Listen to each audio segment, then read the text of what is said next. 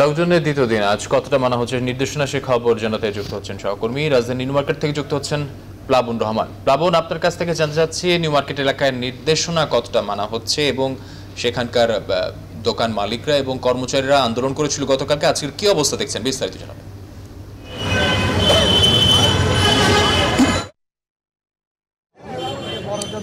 আকাশ আসলে নিয়ম নীতির খুব বেশি মানা হচ্ছে সেটি আসলে বলা যাবে না, কারণ দোকানপাট বন্ধ, একই সঙ্গে মোটা দাগে গণপরিবহন বলতে বাসটাই বন্ধ বাদ বাকি সবই কিন্তু একরকম খোলা, কারণ খরচ একটু বেশি হচ্ছে মানুষের, কিন্তু তারা মোটামুটি সব কাজে কিন্তু করতে পারছেন।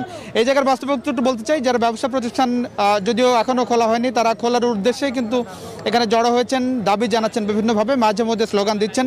আমরা কিছুক্ষণ আগে এখানে যে দোকান মালিক সমিতির যারা কর্তা ব্যক্তিরা আছেন, তাদের সঙ্গে কথা বলেছি। তারা যেমনটা বলছেন যে একরকম সবই যেহেতু খোলা, বইমেলা চলছে সিএনজি চলছে, রিক্সা চলছে, রেস্তোরাঁ খোলা, সব যেহেতু খোলা বিভিন্নভাবে, সেক্ষেত্রে তারা সীমিত সময়ের জন্য হলে ব্যবসা প্রতিষ্ঠান খোলা চান। কারণ বিগত সময়ে যে টানা ছেষট্টি দিন সাধারণ ছুটি ছিল, সেই সাধারণ ছুটির সময় তারা বিভিন্নভাবে ক্ষতির মুখে পড়েছেন, আর্থিক সংকটে পড়েছেন। সেই সংকটের এখনও সেই সংকট তারা খুব বেশি কাটিয়ে উঠতে পারেননি, কারণ বেশিরভাগই যারা শ্রমিক ছিলেন, তারা বেতন পাননি সেই টানা প্রায় দুই মাসের বেশি সময়। এবারও সেরকম সংকটে তারা আসলে পড়তে চান না, সেজন্য সীমিত সময়ের জন্য হলেও তারা দোকানপাট খোলা চান। একটু দেখাতে চাই আসলে কি অবস্থা এখানে। দেখতে পাচ্ছেন নিশ্চয়ই অনেক ব্যবসায়ী এখানে জড়ো হয়েছেন। চাঁদনি চক মার্কেটের সামনে, আমরা নিউ মার্কেটের দিকেও দেখেছি অনেক ব্যবসায়ী এখানে এসেছেন। এবং এখানেও কিন্তু খুব বেশি স্বাস্থ্যবিধি মানা হচ্ছে, সেটি আসলে বলা যাবে না, কারণ সামাজিক দূরত্বের বেলায় নেই। অনেকের মুখে আমরা মাস্ক আসলে দেখে নিতে। তো এমন বাস্তবতার মধ্যেই আসলে ব্যবসায়ীরা তাদের মোটামুটি যে আন্দোলন, সেটি চালিয়ে যাচ্ছেন, প্রতিবাদ জানাচ্ছেন। তারা চান যে খুব দ্রুত সময়ের মধ্যে সরকার তাদের দাবির বিষয়ে পদক্ষেপ নেবেন। সীমিত সময়ের জন্য হলেও স্বাস্থ্যবিধি মেনে ব্যবসা প্রতিষ্ঠান খোলার অনুমতি সরকার দেবে। তো এই ছিল আমার কাছে নিউ মার্কেট চাঁদনি চক থেকে এ বিষয়ে সবশেষ খোঁজ খবর। ধন্যবাদ আপনাকে। দর্শক ব্যাপারে আরও বিস্তারিত জানব। আমাদের সঙ্গে সরাসরি যুক্ত হচ্ছেন বাংলাদেশ দোকান মালিক সমিতির সভাপতি মোহাম্মদ হেলাল উদ্দিন। হেলাল উদ্দিন, আপনাকে স্বাগত জানাচ্ছি। আপনার কাছ থেকে জানতে চাচ্ছি, সরকার লকডাউনে দোকানপাট বন্ধ রাখতে বললেও দেখা যাচ্ছে দোকানপাট খোলা রাখার দাবিতে গতকালকে আন্দোলন হয়েছে এবং কেন এই আন্দোলন? আপনারা কি দাবি দেওয়া আপনাদের বিস্তারিত আমাদের জানাবেন। ধন্যবাদ। আসলে আমরা আন্দোলন করছি না, আমরা শুধু আমাদের আবেগটা বুঝাবার চেষ্টা করছি। আমরা একেবারে মানে পরিকল্পিত ভাবে কিছু করা হচ্ছে না। কিছু কিছু জায়গায় আমরা মানে, দেখছি যে স্বপ্রণোদিত হয়েই তাদের অবস্থানটা বোঝাবার চেষ্টা করছে। এখানে একটি বিষয় আসলে খুব লক্ষণীয়। ধরেন আপনি যদি নর্মালি আমার চোখের সামনে আমার পরিবার যদি ক্ষতিগ্রস্ত হয় তাহলে ভাববো যেটা আসলে মানে, ক্ষতিগ্রস্ত হয়েছে। কিন্তু আমি কর্মক্ষম একটা মানুষ আমি কর্ম করতে পারছি না সেই কারণে আমার পরিবার ক্ষতিগ্রস্ত হচ্ছে সেই ক্ষেত্রে কিন্তু এটা মেনে নেওয়া খুব কঠিন। সেই কারণে হয়তো বা কিছু জায়গায় কিছু মানে তাদের অবস্থাটা ব্যক্ত করছেন। তবে সুখের সংবাদ হচ্ছে এইটুকু, আমি কিছুক্ষণ আগে মাননীয় মুখ্য সচিব মহাদেশের কথা বলেছি এবং মাননীয় মন্ত্রী পরিষদ সচিবের সাথে কথা বলেছি। ওনারা বলেছেন, আমাকে কিছুক্ষণের মধ্যে জানাবেন। আমরা চেষ্টা করছি খুবই স্বাস্থ্যবিধি মেনে খুব স্বল্প পরিসরে দোকানপাট খুলে দেওয়া। এবং ওনারা আমাকে বলেছেন, কিছুক্ষণ পর ওনারা ওনারা আমাদেরকে জানাবেন।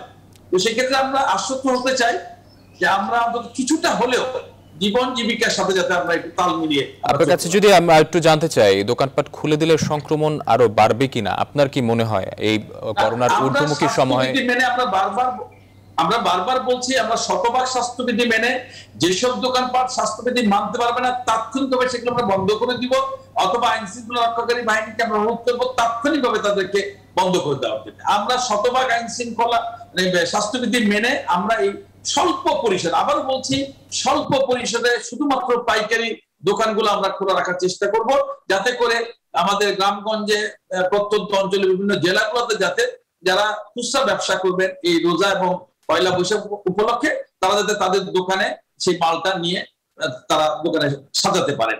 শুধু এইটুকু, আমরা কিন্তু বারবার বুঝ- বুঝতে পারছি, এটা বোঝার কারণ বাকি নাই এই রোগটা মানুষ, মানুষকে ছড়ায়, আমাকে নিজে সুরক্ষিত থাকতে হবে তবে আমি বেঁচে যাব। আদারওয়াইজ কিন্তু আসলে কেউ আমাকে বাঁচাতে পারবে না এই মুহূর্তে। সেই ক্ষেত্রে আমরা সর্বোচ্চ সতর্কতা অবলম্বন করব আপনাকে অসংখ্য ধন্যবাদ আমাদের সাথে যুক্ত হওয়ার জন্য। দর্শক আমাদের সাথে যুক্ত ছিলেন বাংলাদেশ দোকান মালিক সমিতির সভাপতি মোহাম্মদ হেলাল উদ্দিন। দর্শক এই মুহূর্তে আমাদের সাথে যুক্ত হচ্ছেন সহকর্মী মাসুদা লাবনী শাহবাগ থেকে। লাবনী শাহবাগের চিত্র কি দেখছেন? লকডাউনের দ্বিতীয় দিনে বাস্তব চিত্র জানাবেন শাহবাগ থেকে।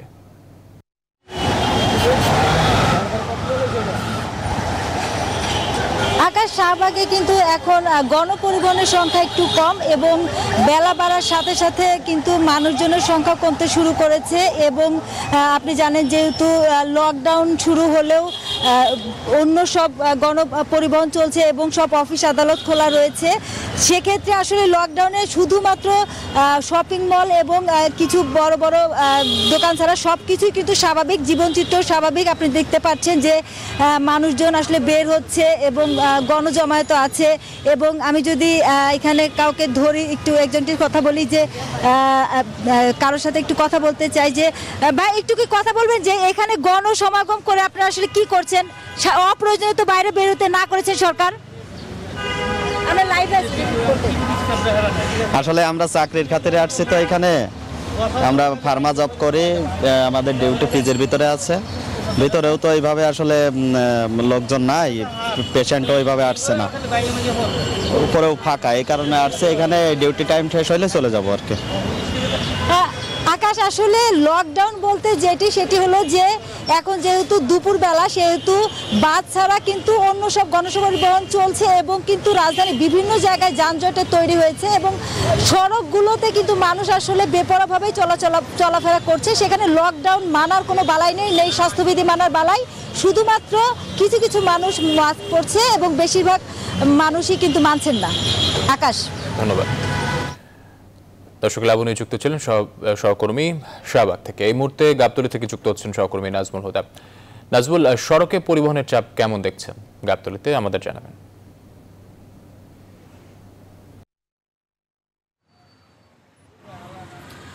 ধন্যবাদ আকাশ আপনাকে। আপনি যেমনটি বলছিলেন এই মুহূর্তে রয়েছে আমি গাবতলিতে।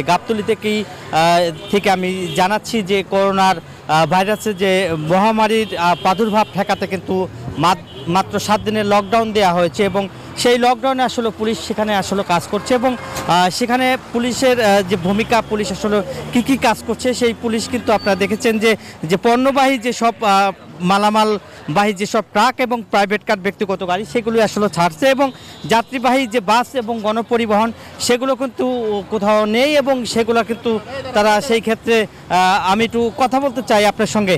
এই মুহূর্তে আপনারা কি কার্যক্রম করছেন? এই মুহূর্তে জরুরি যে গাড়িগুলো আছে জরুরি কাজে নিয়োজিত সেই গাড়িগুলো আমরা ছাড়তেছি। আর যারা অপ্রয়োজনীয় বাসা থেকে বের হচ্ছে তাদের ইউটার্ন করে আমরা পাঠিয়ে দিচ্ছি তাদের সাবেক জায়গায়। এই গণপরিবহন না গণপরিবহন টোটালি বন্ধ। আপনারা দেখতে পাচ্ছেন গণপরিবহন বন্ধ পার্সোনাল যে কাজগুলো আছে। অনেক ধন্যবাদ অনেক ধন্যবাদ আপনাকে যেমনটা আসলে দেখছেন যে গাড়ি থেকে তাদেরকে নামিয়ে দেওয়া হচ্ছে এবং যখনই তাদেরকে সন্দেহ করা হচ্ছে এবং যারা যাত্রী নিয়ে যাচ্ছে, যাদেরকে সন্দেহ হলেই পুলিশ কিন্তু সেখানে চেকপোস্ট বসিয়েছে এবং এই- লকডাউনের মধ্যে পুলিশের যে কার্যক্রম সেটা আসলে দেখছেন আপনারা কীভাবে তারা কাজ কাম করছে এবং সেই বিষয় নিয়ে তারা মাত্র আসলে পুলিশের পক্ষ থেকে যে যে কার্যক্রম তারা কিন্তু যে যেহেতু পরিবহনে যে যাত্রী নিয়ে যাচ্ছে বা ব্যক্তিগত গাড়িতে নিয়ে যাচ্ছে সেগুলো কিন্তু সন্দেহ হলেই তাদেরকে নামিয়ে দিচ্ছে। এই ছিল আমার কাছে লকডাউনের সর্বশেষ খবর চলে যাচ্ছি স্টুডিওতে আকাশের কাছে আকাশ। দর্শক নাজমুল যুক্ত ছিলেন আমাদের সাথে গাবতলী থেকে এই মুহূর্তে মতিঝিল থেকে যুক্ত হচ্ছেন সহকর্মী আলী তালুকদার। আলী আজ লকডাউনের দ্বিতীয় দিন। মতিঝিলের সার্বিক অবস্থা কেমন দেখছেন? ব্যস্ততম এলাকা আমাদের জানাবেন।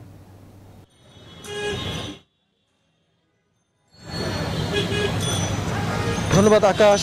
আকাশ, এই ব্যাংক পাড়া বলা চলে যে মতিঝিল, এবং এই মতিঝিলে কিন্তু অসংখ্য মানুষের আসা যাওয়া তাদের কাজের প্রয়োজনে।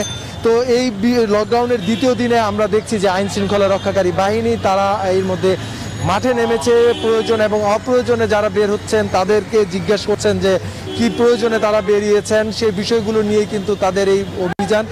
এবং এখানে নির্বাহী ম্যাজিস্ট্রেট পলাশ কুমার তার নেতৃত্বে র্যাব তিনের একটি টিম তারা এখানে অভিযান পরিচালনা করছেন এবং যারা এই করোনার সতর্কতায় বলা হয়েছিল যে নির্দেশনাগুলো মেনে চলার জন্য, সেই নির্দেশনাগুলো যারা মানছেন না, তাদের বিরুদ্ধে কিন্তু জরিমানা করা হচ্ছে এবং যে আইনগত ব্যবস্থা সেগুলো নেওয়া হচ্ছে।